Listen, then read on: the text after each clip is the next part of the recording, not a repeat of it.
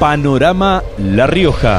El espectáculo promovido por el Ministerio de Desarrollo Social de la Nación Danza por la Inclusión se presentó en el Teatro Víctor María Cáceres. La iniciativa propone potenciar a jóvenes talentos de la danza nacional y está dirigida por el bailarín Iñaki Urlezaga. Y también acá agradecer a la provincia, en este caso al equipo de Tere, y esto nos da el compromiso de que, que estamos en el buen camino, este, dentro de las políticas y del proyecto nacional que conduce nuestra presidenta.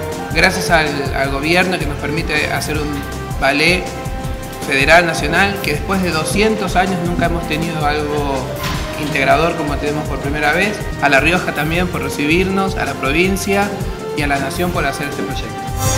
En el marco de la gira de trabajo que realizó el gobernador por Chamical, el ministro de Salud de la provincia, Marco Pereira, hizo entrega de una ambulancia totalmente equipada para el Hospital Zonal Luis Agote. Esta es la tercera ambulancia que se entrega en un año y medio a, Chamical, completa un parque automotor de ambulancias que están siendo destinadas a las distintas provincias, ¿no es cierto? Y bueno, se gestionan continuamente.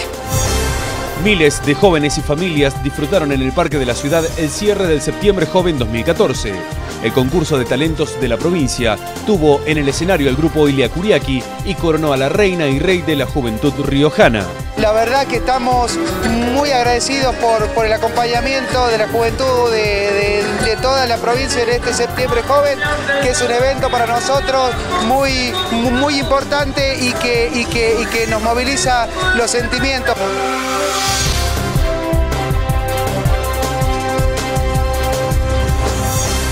Panorama La Rioja.